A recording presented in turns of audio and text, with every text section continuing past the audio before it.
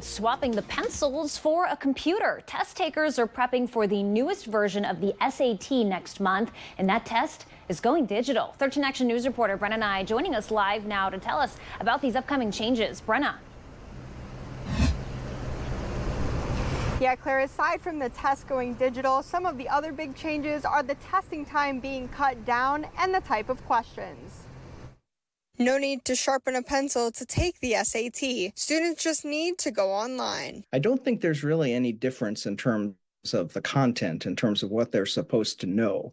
But there is a lot of uh, change and a lot of difference in how it's administered. One of the biggest changes is the time given to take the test, going from three hours to just over two. It's shorter, which will be significantly less stressful for students, and that's a positive aspect.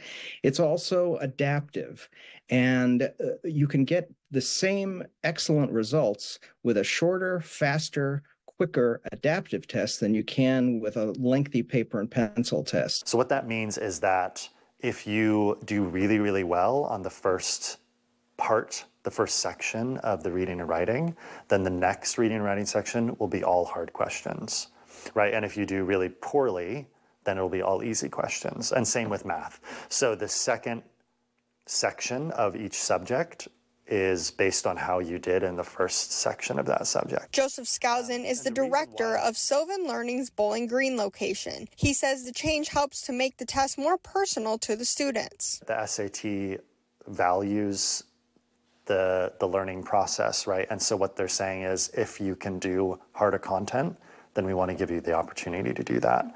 Um, and so the score, the score like really kind of means something in a way that it didn't before because you know that the content is content that you are comfortable with. It's at your level, um, and it's not just you took the test that everyone else took. Although the SAT is not a requirement to attend most colleges and universities, it still could have a positive effect on admission to one. It is one way of providing additional information, not just to enter into school, but to help a student succeed, because the idea is not just to admit them into a college, but to help them graduate and succeed in college and succeed in life.